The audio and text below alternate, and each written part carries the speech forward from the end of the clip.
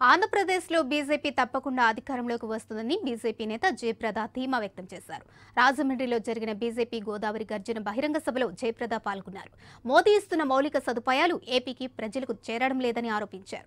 ఇక వైసీపీ ప్రభుత్వంపై ప్రజల్లో అసహనం ఉందని ఆంధ్రప్రదేశ్ అప్పుల పాలు నుంచి కొంచెమైనా ముక్తి చెందాలంటే బీజేపీ అధికారంలోకి రావాలని వ్యాఖ్యానించారు. మోదీ మోదీ అంటున్నారు. మోదీ గారు ఇచ్చినటువంటి మౌలిక సదుపాయాలు మన వరకు ఎంతవరకు వస్తున్నాయి అనేదే ఒక ప్రశ్న. ఇప్పుడు మాట్లాడేటువంటి నడ్డా గారి ఉప ఉపన్యాసంలో మీరు చూసుంటారు అక్కడికి వచ్చినటువంటి స్కీమ్స్ అన్నీ ఇక్కడ వరకు వచ్చే వరకు వీటినన్నిటిని పేరు మార్చి వాళ్ళ సొంత పేర్లతో మాట్లాడుతూ చేస్తున్నారు.